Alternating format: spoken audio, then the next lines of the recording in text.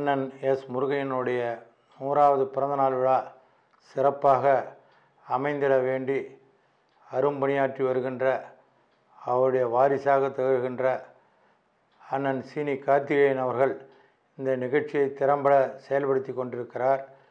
இதிலே மற்றற்ற மகிழ்ச்சியை நான் தெரிவித்துக் கொள்கிறேன்.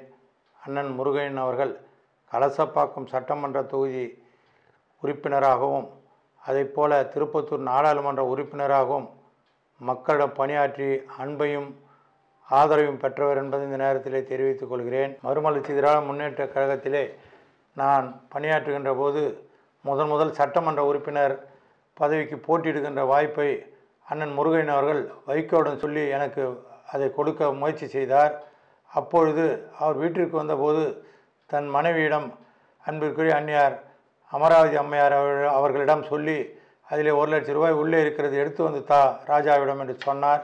நான் மிகவும் நெகிழ்ந்து போனேன். அண்ணா சீட்டு வந்த பிறகு வாங்கிக் கொள்கிறேன் என்று சொல்லிவிட்டு சென்றேன். சட்டமன்ற எனக்கு போ அந்த பதவி பொறுப்பு வழங்கப்படவில்லை. அப்போது மிகவும் அவர் கோபம் கொண்டு நான் சொன்னவர் கொடுக்கவில்லை என்று வைகோடத்தை கோபித்து கொண்டு எனக்காக வெளியே வந்ததையும் நினைத்து பார்க்கிறேன். அது மட்டுமல்ல ஆரணிலே ச நகரமன்ற தலைவர் பொறுப்புக்கு போட்டியிடுகின்ற போது வீட்டுக்கு வா என்று சொன்னார். வந்தவுடன் நாற்பதாயிரம் ரூபாய் எடுத்து கொடுத்து நீ போய் வெற்றி பெற வேண்டும் என்று சொல்லி வாழ்த்தி சொல்லி அனுப்பினார். அந்த காலகட்டத்தெல்லாம் எண்ணி பார்க்கின்ற போது ஒரு சிறந்த மனித அபிமானி சிறந்த அரசியல்வாதி அதே போல் அவர் சொன்ன ஒரு உபதேசம் எந்த கட்சியில் இருந்தாலும் கடைசி வரை அந்த இயக்கத்திலே பணியாற்றி இருக்க வேண்டும் என்ற வேண்டுகோளை வைத்திருக்கிறார். அது இன்றும் நான் நினைவு கூறுகிறேன். வைகோ அவர்கள் முதன் முதலில் கட்சி தொடங்குகின்ற போது முதன் முதலில் அவர் ஐம்பத்தோராயிரம் ரூபாய் மறுமலர்ச்சி திராட முன்னேற்ற முதல் நிதியாக முதல் தவணையாக கொடுத்ததை எண்ணி பார்க்க திருவண்ணாமலை கூட்டத்திலே கொடுத்ததை மிகவும் பூரிப்படைந்து போனோம். அவர் தன்னோடு இருக்கின்ற சகாக்களை அதோடு அவருடைய நண்பர்களை இணைத்து ஒரு பெரிய ஸ்தாபனத்தை உருவாக்கி அனைவரும் வளர வேண்டும் என்கின்ற நல்ல மனப்பக்கம் கொண்டு என்பதை தெரிந்து கொண்டேன். அவர் கூட என்னிடம் சொன்னார் என்னிடம் ஒரு சந்தன தொழிற்சாலை இருக்கிறது வேண்டுமானால் அதை எடுத்து நடத்துங்கள். உங்களுக்கு முடிந்தால் செய்து பாருங்கள் நன்றாக நடக்கும் என்று சொன்னார். அதே போல் பேப்பர் ஆலை ஒன்று உள்ளே இருந்தது. கல்லூரி அதை நிர்வாகம் செய்து மக்கள் மத்தியிலே திருவண்ணாமலை நகரத்திலே மட்டுமல்லாமல் திருவண்ணாமலை சுற்றி இருக்கின்ற பல்வேறு கிராமங்களிலிருந்து ஏழை எளிய மக்கள் படிக்கின்ற விதத்திலே தன்னுடைய நண்பர்களை இணைத்து சண்முகா தொழிற்சாலை கலை அறிவியல் கல்லூரியை நிறுவி இன்று வரை அது பெயர் பெற்று உள்ளதாக நன்றாக விளங்கியிருக்கிறது. ஏழை எளிய மக்களுக்கு பயன்படும் விதத்திலே ஒரு பெரிய மருத்துவமனை நிறுவ வேண்டும் தன்னுடைய இடத்திலே நிறுவ வேண்டும் என்று சொல்லி அதை பெரிய அளவிலே நிறுவி நிர்வாகம் செய்வதற்குரிய வாய்ப்புகளை ஏற்படுத்தினார்.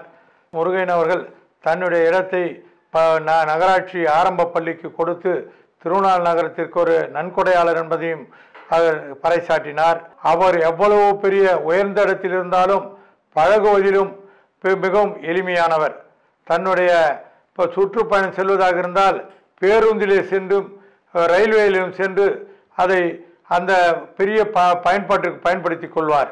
காரிலே செல்ல வேண்டும் அல்லது பெரிய ஒரு ஆடம்பர காரிலே செல்ல வேண்டும் என்கின்ற மனப்பான்மை இல்லாதவர் ஏழை எளிய மக்களோடு மக்களாக பழகக்கூடியவர் அதோடு தான் யாருக்கு உதவி செய்தாலும் க கையூட்டு பெறாமல் மிகவும் நேர்மையாகவும் அதே போல தன்னோடு வருகின்றவர் சால் பயணி என்பவர் வருவார் இவர் திராவிட முன்னேற்ற கழகத்தில் வேட்டியை கட்டிக்கொள்வார். அவரோடு வருகின்ற நண்பர் மறுமலர்ச்சி திராவிட முன்னேற்ற கழகத்தினுடைய வேட்டியை கட்டி வருவார். அப்போது கூட என் நண்பர் ஒரு கட்சியில் இருந்தாலும் பகை கொள்ளாமல் உடனழைத்து செல்வார் என்பதை பார்க்கின்ற போது ஒரு நல்ல பண்பட்ட ஒரு நல்ல மாமனிதர் என்பதை இந்த நூற்றாண்டு விழாவிலே தெரிவித்துக் கொள்கிறேன். முருகன் அவர்கள் தன்னுடைய ம- மனைவியிடம் மிகவும் அன்பும் பண்போடு இருந்த இருந்த காரணத்தினால்தான் கடைசி வரை அவர்களுக்குள் ஒரு சிறிய பிரச்சனைகளும் இல்லாமல் ஒரு மனசாபம் இல்லாமல் கடைசி வரை வாழ்ந்ததை எண்ணி மகிழ்ச்சி அடைகிறேன். அதே போல சீனி கார்த்தியன் அவர்கள் தன்னுடைய வாரிசாக எடுத்து இதை மொத்த நிர்வாகம் செய்வதற்குரிய அனைத்து வழிவகைகளும் அவர் கற்றுக் கொடுத்து தனக்கு பின்னால் இதை நன்றாக நிர்வாகம் செய்ய வேண்டும் என்கின்ற நிலையை ஏற்படுத்தி அந்த நிலையிலே இன்று வரை சீனி கார்த்தியன் அவர்கள் அவருடைய பெயரிலே அமரர் எஸ் முருகையன் அமராவதி என்கின்ற இந்த உயர்நிலைப் பள்ளியை மாதிரி பள்ளியை நிறுவி திறம்பட செயல்படுத்தி வருகிறார். அங்கே ஆரணியில் கூட சொல்லுவார்கள் அந்த பள்ளியிலே அதிகப்படியான பள்ளியிலே மாணவர்களை சேர்த்திருக்கின்றார் என்றால் மிகவும் மிகவும் உழைப்பாளி சீனி காத்தியன் அவர்கள் அண்ணன் முருகையன் அவர்கள் என்ன நினைத்தாரோ அதை செவனே நிறைவேற்றி வருகின்றதை எண்ணி பார்க்கின்ற போது இந்த காலகட்டத்திலே இப்படிப்பட்ட சீனி கார்த்திகேயன் எஸ் முருகையன் அவர்களுக்கு கிடைக்கப்பெற்ற பொக்கிஷமாக நாங்கள் நினைத்து பார்க்கிறோம். அது மட்டுமல்ல இன்று ஏல் கொஞ்சுகிற வகையிலே இந்த பள்ளியை வடிவமைத்து திறம்பட செயல்படுத்தி இந்த திருவண்ணாமலை நகரத்திலும் திருவண்ணாமலை சுற்றியுள்ள கிராமங்களில் இருக்கிற பிள்ளைகள் படிப்பதற்கும் உயர்ந்த கல்வியை இங்கு கொடுத்து கொண்டிருக்கிறார் என்றால் இங்கு திருவண்ணாமலை நகரத்திற்கு மிகையாக ஒரு நல்ல பள்ளி நிறுவியிருக்கிறார் என்பதிலே பெருமை கொள்கிறோம். இந்த அண்ணன் முருகையன் அவருடைய நினைவை அவருடைய ஆற்றலை இவரும் பெற்றிருக்கிறார் என்பதிலே எனக்கு சிறந்த சந்தோஷம்.